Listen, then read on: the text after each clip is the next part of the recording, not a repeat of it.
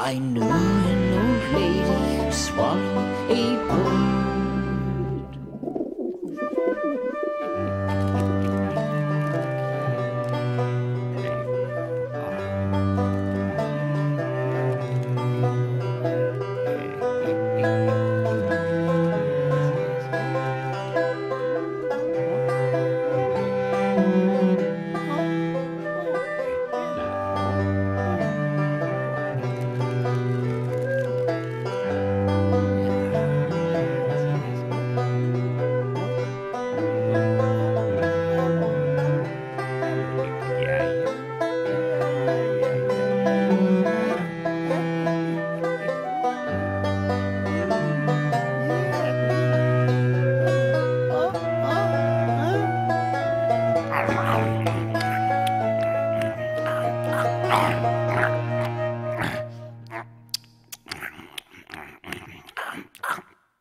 How absurd to swallow a bird.